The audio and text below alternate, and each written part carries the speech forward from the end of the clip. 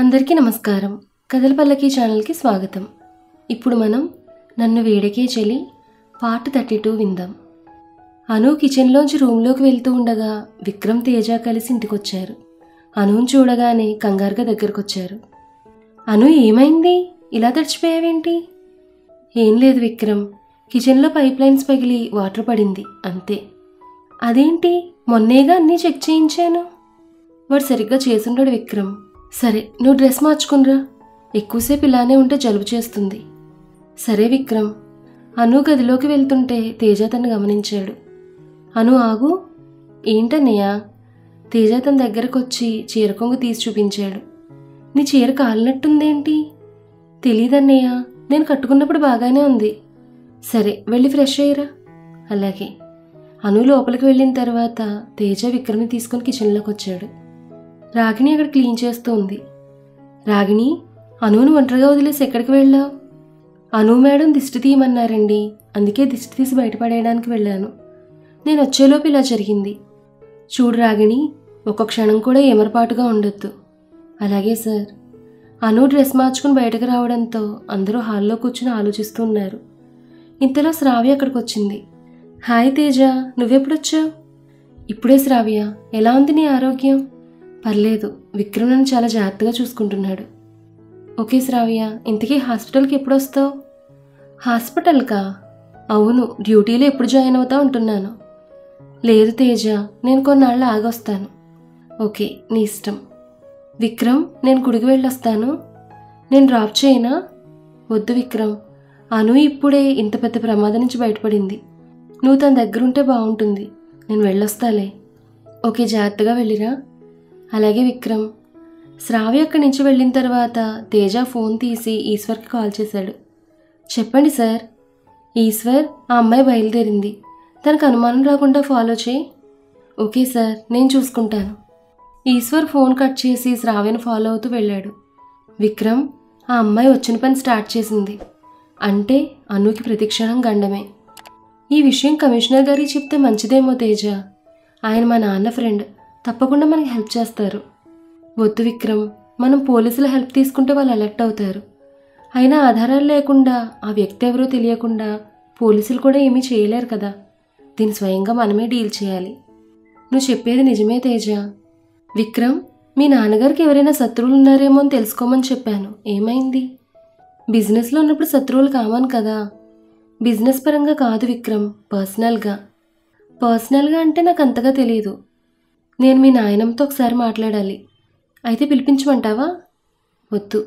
ఇక్కడ మాట్లాడడం మంచిది కాదు. నేనే స్వయంగా ఊరికి వెళ్ళి మాట్లాడొస్తాను.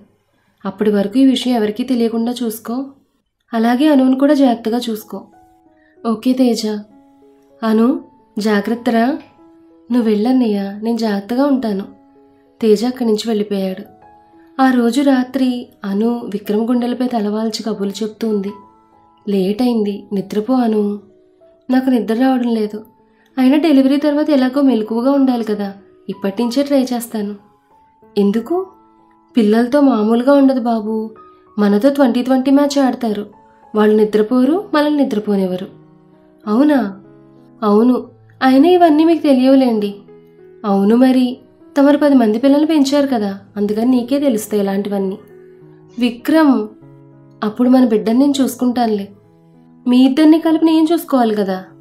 ఏం పర్లేదు ఇద్దరం కలిసి మన బిడ్డను జాగ్రత్తగా చూసుకుందాం. ఇలాంటి సమయంలో ఎక్కువసేపు మెలకుగా ఉండకూడదు. అబ్బో నా గురించి చెప్తున్నారా? లేక మీ వారసుడి గురించి చెప్తున్నారా? మీ ఇద్దరి గురించి చెప్తున్నాను.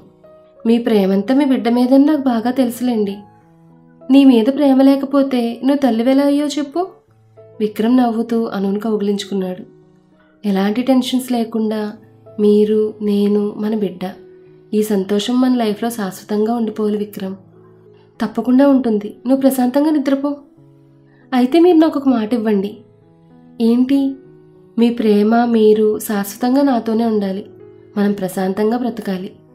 అలాగే మాటిస్తున్నాను. ఈ ప్రాబ్లమ్స్ అన్ని త్వరగా క్లియర్ చేస్తాను. థ్యాంక్స్ విక్రమ్. అను మీ అన్నయ్య ఫోన్ చేశాడు. నేను బయటకు వెళ్ళొస్తాను. నువ్వు జాగ్రత్తగా ఉండు. సరే విక్రమ్ మీరు త్వరగా వచ్చేయండి. అలాగే అను. విక్రమ్ అక్కడి నుంచి వెళ్ళిన తర్వాత అను గదిలోకి వెళ్ళి సాంగ్స్ వింటూ కూర్చుంది. విక్రమ్ తేజ చెప్పిన ప్లేస్కి వచ్చి తేజ కోసం వెతుకుతూ ఉన్నాడు. ఇంతలో తేజ కనిపించడంతో విక్రమ్ తన దగ్గరికి వెళ్ళి ఎదురుగా ఉన్న కుర్చీలో కూర్చున్నాడు. తేజ ఏమైంది?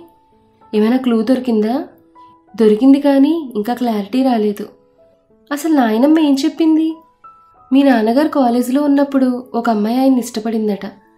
అందులో అనుమానపడడానికి ఏముంది? అది కామన్ విషయమే కదా. కాదు విక్రమ్ ఆ ఇష్టం ఎలాంటిదంటే మీ నాన్న పెళ్ళి జరుగుతున్నప్పుడు ఆ అమ్మాయి మీ నాన్నను గంతో బెదిరించి తన మెడలో తాళి కట్టమని అడిగింది.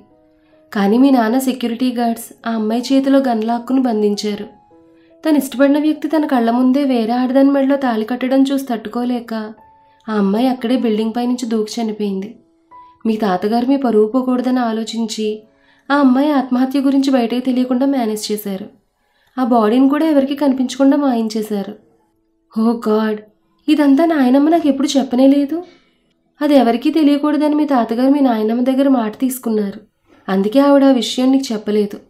అంటే ఖచ్చితంగా అమ్మాయి ఇంట్లో వాళ్ళే ఎవరో మా ఫ్యామిలీని టార్గెట్ చేశారంటావా? మేబీ విక్రమ్. కానీ అమ్మాయి ఫ్యామిలీ గురించి మనం తెలుసుకోవడం ఎలా? నేను ఆల్రెడీ మీ నాన్న చదివిన కాలేజ్ దగ్గరికి వెళ్ళి ఎంక్వైరీ చేశాను. కానీ ఇప్పుడు ఆ కాలేజ్ మూసేసింది. దాదాపు పదిహేను సంవత్సరాల నుండి ఆ కాలేజ్ మూసేసిందంట. అయితే ఆ కాలేజ్ పాత రికార్డ్స్ అన్నీ లోపలే ఉండి ఉంటాయి కదా. ఆ అమ్మాయి డీటెయిల్స్లో తన ఫ్యామిలీ వాళ్ళ గురించి కూడా ఉంటుంది కదా తేజ? యా నాకు ఈ ఆలోచనే తట్టలేదు. తేజ వెంటనే ఆ రికార్డ్స్ చెక్ చేయించు. ఆ అమ్మాయి ఫ్యామిలీ గురించి తెలుసుకోగలిగితే ప్రాబ్లం సాల్వ్ అయినట్టే. అలాగే కానీ ఈ విషయం మన ఇద్దరి మధ్య ఉండాలి. వాళ్ళెవరో మనకు తెలిసిన తర్వాత పోలీసుల విషయం చెప్దాం. అలాగే తేజ నేను బయలుదేరతాను. ఇంట్లో అను ఒంటరిగా ఉంది. ఓకే విక్రమ్. అక్కడి నుంచి కారులో ఇంటికి బయలుదేరాడు విక్రమ్. ఉదయం అనగా బయటకు వెళ్ళారు. చీకటి పడినా ఇంకా రాలేదేంటినా అను? విక్రమ్ కోసం ఎదురు చూస్తూ ఉంది. శ్రావ్య ఇంటి బయటకు వెళ్ళి చుట్టుపక్కలంతా చెక్ చేసింది. సెక్యూరిటీ గార్డ్స్ దూరంగా ఉన్న టీ కొట్లో టీ తాగుతూ కనిపించారు. ఇంట్లో అను మాత్రమే ఉంది. సెక్యూరిటీ అయితే అప్పుడే రారు. సో దాన్ని చంపడానికి ఇదే సరైన సమయం. శ్రావ్య అక్కడి నుంచి అను దగ్గరకు వచ్చింది. అను విక్రమ్ ఎక్కడికి వెళ్ళారు? ఏదో పనుందని వెళ్ళారు శ్రావ్య. ఇంకా రాలేదు. ఆయన కోసం ఎదురు చూస్తున్నాను. అయ్యో పాపం ఇంకెదురు చూడాల్సిన అవసరం ఉండదులే అను. అను అర్థం కానట్టు శ్రావ్య వైపు చూసింది. అర్థం కాలేదా అను? ఇప్పుడు ఎలాగో నువ్వు చస్తావు. సో తర్వాత నువ్వు విక్రమ్ కోసం ఎదురు చూడక్కర్లేదు కదా. శ్రావ్య ఏం మాట్లాడుతున్నావు? నేను తెలుగులోనే కదా చెప్పాను. అయినా అర్థం కాలేదా? సరే క్లారిటీగా చెప్తున్నాను విను. ఇప్పుడు నేను చంపేయబోతున్నాను. అను షాక్తో చూస్తూ ఉండిపోయింది. శ్రావ్య గన్ తీసి అనుకు గురిపెట్టింది. అను భయంతో అడుగులు వెనక్కి వేసింది. శ్రావ్య ఏం చేస్తున్నావు? నువ్వు నన్ను చంపడం ఏంటి నేను శ్రావ్యని కాదు నీ పాలిట మృత్యువుని. Good bye Anu. Shravya trigger నొక్కడం చూసి అను పక్కనే ఉన్న బొమ్మ తీసి శ్రావ్య మీదకి విసిరింది. అది చేతికి తగలడంతో గన్ పై కింద పడిపోయింది. శ్రావ్య గన్ కోసం వెతుకుతూ ఉండగా అను అక్కడి నుంచి బయటకు వచ్చేసింది గన్ కనిపించకపోయేసరికి శ్రావ్య కూడా అను వెనకాలే బయటకు వచ్చింది బయట కాల్ సౌండ్ వినిపించడంతో శ్రావ్య ఫ్లవర్ వాస్ చేతిలోకి తీసుకుంది. ఇంతలో కరెంటు పోవడంతో ఇల్లంతా చీకటిగా అయిపోయింది. అను అరుపు గట్టిగా వినిపించడంతో శ్రావ్య అను దగ్గరకు వస్తూ ఉండగా విక్రమ్ తేజ మాటలు వినిపించాయి. వెంటనే అక్కడి నుంచి తన గదిలోకి వెళ్ళిపోయింది. విక్రమ్ ఇల్లంతా చీకటిగా ఉందేంటి? కరెంటు పోయినట్టుంది తేజ. మెయిన్ చెక్ చేద్దాంరా. సరే.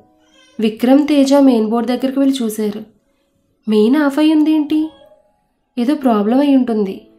విక్రమ్ మెయిన్ ఆన్ చేసి తేజని తీసుకుని లోపలికి వెళ్ళాడు. ఇద్దరూ హాల్లోకి రాగానే రక్తపు మడుగులో ఉన్న అనువును చూసి కంగారుగా దగ్గరకు వచ్చారు అను ఏమైంది? కళ్ళు తెరువు. శ్రావ్య ఏమీ ఎరగనట్టు కిందకొచ్చింది. విక్రమ్ మన అనుకి ఏమైంది? తెలియట్లేదు శ్రావ్య. విక్రమ్ ముందు అనుని హాస్పిటల్కి తీసుకెళ్దాం పదా. విక్రమ్ తేజ కారులో అనువుని తీసుకుని వెళ్ళిపోయారు. శ్రావ్య కంగారుగా గదిలోకి వెళ్ళి ఫోన్ చేసి విషయం చెప్పింది. నేను ముందే చెప్పాను కదా జాగ్రత్తగా ఉండమని. ఇప్పుడు ఆ స్పృహలోకి వచ్చి నీ గురించి నిజం చెప్తే విక్రమ్ నేను బ్రతకనివ్వడు. నన్నేం చేయమంటారు? పని పూర్తయ్యే టైంకి విక్రమ్ తేజ వచ్చేశారు. అది మెట్ల మీద నుంచి కింద పడిపోయినట్టుంది. ఓకే జాగ్రత్తగా ఉండు. ఏమైనా తేడాగా అనిపిస్తే అక్కడి నుంచి పారిపో. అలాగే శ్రావ్య ఫోన్ కట్ చేసి వేరే కారులో హాస్పిటల్కి బయలుదేరింది. జగతి అనుకి ట్రీట్మెంట్ చేసి బయటకు వచ్చింది శ్రావ్య కూడా అదే సమయంలో హాస్పిటల్కి వచ్చింది. జగతి అను ఎలా ఉంది? జగతి కళ్ళల్లో నీళ్ళు తిరిగాయి. ఏమైంది జగతి? సారీ విక్రమ్ అబార్షన్ అయింది. అను పరిస్థితి కూడా బాలేదు. ఆ మాట వినగానే విక్రమ్ అక్కడికక్కడే కుప్పకూలిపోయాడు. తేజ తన్ను ఓదార్చాడు. నేనేం పాపం చేశాను తేజ? నాకే ఎందుకు ఇలా జరుగుతోంది? విక్రమ్ కంట్రోల్ చేసుకో. అనుకేం కాదు. ధైర్యంగా ఉండు. నేను అనుని చూడొచ్చా? వెళ్ళి విక్రమ్. విక్రమ్ అక్కడి నుంచి అను దగ్గరకు వచ్చాడు. అను చేయి పట్టుకుని పక్కనే కూర్చున్నాడు.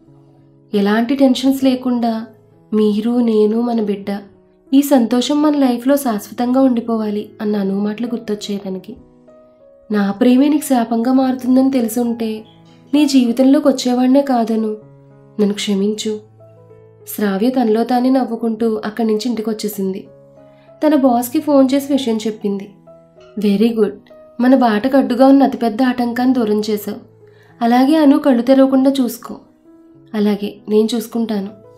మరుసటి రోజు అను స్పృహలోకి వచ్చింది కళ్ళు తెరి చుట్టూ చూసింది. అందరూ అక్కడే ఉన్నారు. మెల్లగా పైకి లేచి బెడ్పై కూర్చుంది. విక్రమ్ తన పక్కనే కూర్చుని చేపట్టుకున్నాడు అను ఏం చెబుతుందా అన్న టెన్షన్తో చూస్తూ ఉండిపోయింది శ్రావ్య. అను నువ్వు బాగానే ఉన్నావు కదా? అను ఏమీ మాట్లాడకుండా మౌనంగా ఉంది. మాట్లాడాను ఎలా ఉన్నావు? ఎవరు మీరు? అను మాటకు అందరూ షాక్తో చూస్తూ ఉండిపోయారు. అను ఏమైంది నీకు? విక్రమ్ని ఎవరని అడుగుతున్నావు?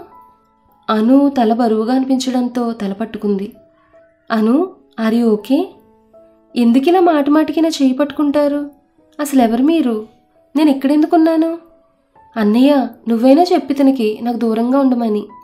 అందరూ ఒకరి ముఖాలు ఒకరు చూసుకున్నారు. అను నన్ను దూరంగా ఉండమని ఎలా అనగలుగుతున్నావు? అసలు ఎందుకు ఇలా మాట్లాడుతున్నావు? అన్నయ్య అసలు ఇతను ఎవరు నాతో ఇంత చనువుగా మాట్లాడుతున్నాడు? నువ్వు కూడా ఏమీ అనడం లేదు అను తను నీ భర్త. వాట్? నా భర్త ఏంటి? నాకు పెళ్ళెప్పుడైంది మెళ్ళో చూసుకునేసరికి మంగళసూత్రం కనిపించింది. ఏం జరిగిందో అర్థం కాక ఆలోచిస్తూనే స్పృహ తప్పి పడిపోయింది అను. తేజ తనకి ఏమైంది? ఎందుకు ఇలా మాట్లాడుతోంది? నాకు కూడా అదే అర్థం కావడం లేదు విక్రమ్. అందరూ కాసేపు బయట వెయిట్ చేయండి. నేను కొన్ని టెస్టులు చేయాలి. అలాగే తేజ అందరూ బయటకు వెళ్ళిపోయారు. తేజ తనకి టెస్టులు చేయించి రిపోర్ట్స్ చెక్ చేశాడు. తేజ ఏమైంది? తలకి గాయం అవడం వల్ల తన మెమరీ లాస్ అయింది విక్రమ్. వాట్? కానీ మీ అందరినీ గుర్తుపట్టింది కదా. అవును తను మర్చిపోయింది ఈ మధ్యకాలంలో జరిగిన కొన్ని సంఘటనలు మాత్రమే. అంటే మీ పెళ్ళికి ముందు జ్ఞాపకాలు తప్ప పెళ్ళి తర్వాత జ్ఞాపకాలు తనకు గుర్తులేవు. తన బిడ్డను పోగొట్టుకున్న విషయం కూడా తనకు తెలియదు. తేజ మాటలు విన్న విక్రమ్ కళ్ళల్లో నీళ్ళు తిరిగాయి. విక్రమ్ కొన్ని రోజులు తను ప్రశాంతంగా ఉండనివ్వు. అన్నీ సర్దుకుంటాయి. నువ్వు అనుకు దూరంగా ఉండాలి కాబట్టి అనును మా ఇంటికి తీసుకెళ్తాను. అలాగే తేజ అను కోలుకుంటే చాలు. తేజ మాటలు విన్న తర్వాత శ్రావ్య టెన్షన్ తగ్గిపోయింది. అంటే అనుకేం గుర్తులేదన్నమాట. అయితే అప్పుడే దీన్ని చంపాల్సిన అవసరం లేదు. కొన్ని రోజులు గ్యాప్ ఇచ్చి అందరి విషయాన్ని మర్చిపోయే టైంలో అనును చంపాలి. మరి ఆ తర్వాత ఏం జరగబోతుందనేది నెక్స్ట్ ఎపిసోడ్లో తెలుసుకుందాం. ఈ కథ మీకు నచ్చితే లైక్ చేయండి షేర్ చేయండి. అలాగే మన కథల పల్లకి ఛానల్ని సబ్స్క్రైబ్ చేసుకోండి. ధన్యవాదాలు.